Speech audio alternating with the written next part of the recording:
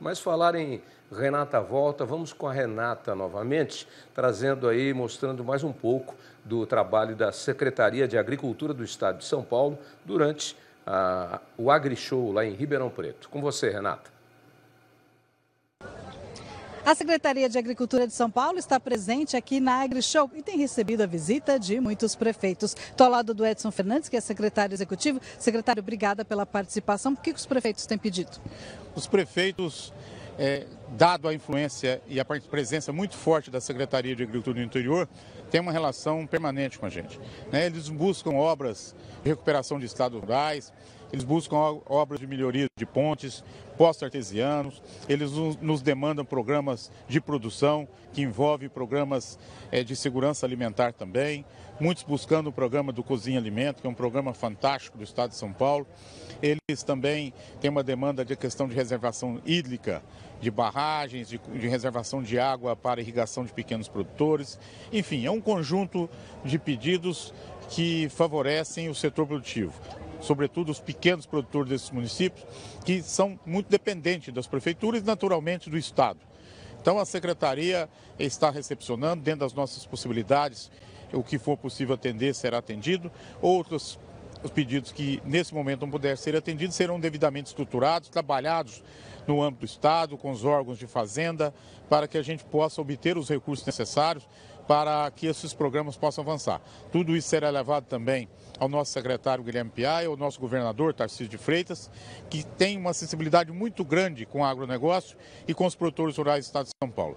Então, nesse sentido, vamos fazer de tudo para procurar atender da melhor maneira possível.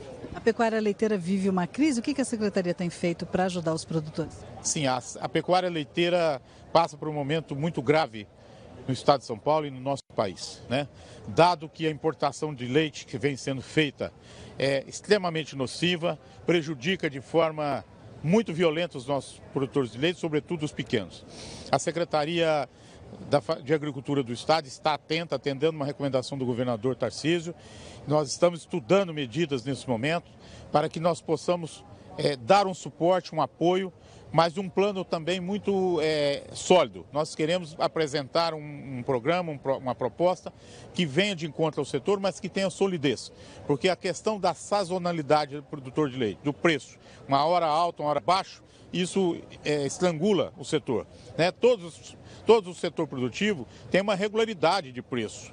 E o leite não pode funcionar dessa maneira. Nós temos que mudar essa história de uma vez por todas estamos trabalhando firme nisso. Em breve, o Estado apresentará, através da Secretaria de Agricultura, um projeto, uma proposta para que a gente possa melhorar a condição do produtor de leite, que a gente sabe que é uma proposta que não vai fazer efeitos, surtir efeitos imediatamente, porque nem pode ser assim.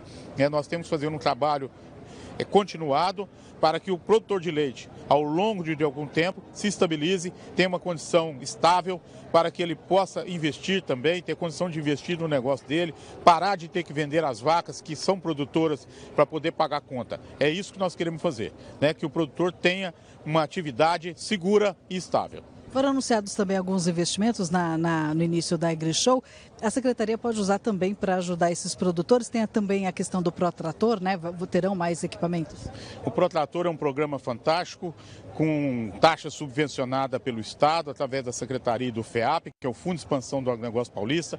Nós vamos pular aí de uma comercialização de aproximadamente 230 tratores no passado para 2.400 tratores nesse ano, e isso vai prosseguir nos próximos anos. Então, é um avanço muito grande para o pequeno produtor, para o médio produtor que precisa comprar o seu trator, numa taxa muito atrativa. Então, isso é uma grande contribuição que a Secretaria e o Governo do Estado está dando.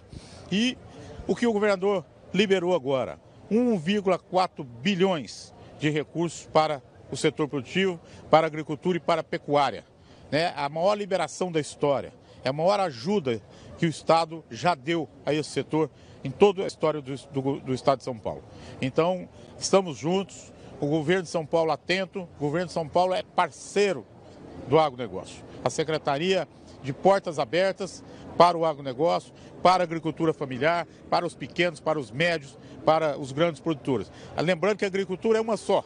Nós não temos duas agriculturas no nosso estado. Aqui é diferente. Aqui todos são iguais, todos são produtores rurais e todos têm o nosso apoio. Ok, obrigada pela Obrigado, participação. Viu? Renata Afonso, direto da AgriShow 2024.